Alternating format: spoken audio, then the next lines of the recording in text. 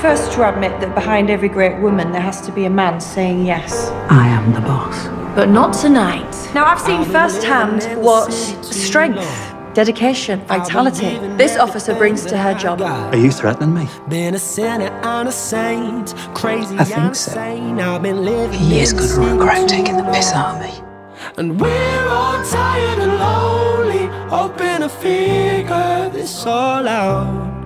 There's a part of my soul that wants to let go, wants to just run away. I've been working my fingers to the bone, and like London. He's got us rooting around like we're looking for sodding car keys. Nora's too. Hit the menopause, time to move on. I'm going home. I'm just trying to find If you can some fake it, kind of life you can I be it. Dreamed about. had enough battles to pick. Well, that's where you're wrong, because sometimes it's easier to pretend that you can't win them all. She saw me coming a mile off. Played me like a fucking novice. She'll regret taking my desk off of me.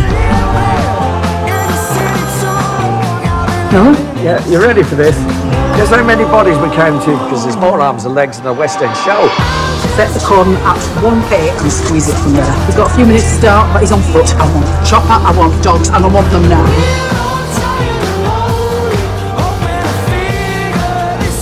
We are gonna swallow Nora up like a fucking earthquake.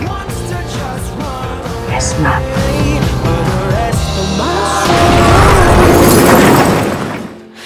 Says I should stay.